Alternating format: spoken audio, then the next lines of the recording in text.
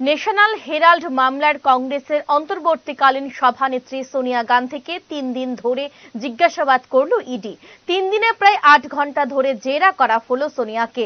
ED সূত্রে খবর, এই তিন দিনই জিজ্ঞাসাবাদে সহযোগিতা করেছেন কংগ্রেসের অন্তর্বর্তীকালীন সভানেত্রী। ন্যাশনাল হেরাল্ড সংক্রান্ত মামলায় সব রকম ভাবে তাকে জেরা করা হয়েছিল এবং সোনিয়া বেশিরভাগ প্রশ্নেরই জবাব দিয়েছেন। বস্তুত এর আগে জুন মাসে রাহুল গান্ধীকে সব মিলিয়ে প্রায় তিপ্পান্ন ঘণ্টা এই মামলায় জিজ্ঞাসাবাদ করে এনফোর্সমেন্ট ডিরেক্টরেট। সোনিয়ার ক্ষেত্রে সেই দীর্ঘ জিজ্ঞাসাবাদের প্রয়োজনই পড়ল না। ইডি সূত্রে খবর, কংগ্রেস সভানেত্রীর কাছে তাদের কাঙ্ক্ষিত প্রশ্নের উত্তরগুলি সহজেই পেয়ে গেছেন আধিকারিকরা।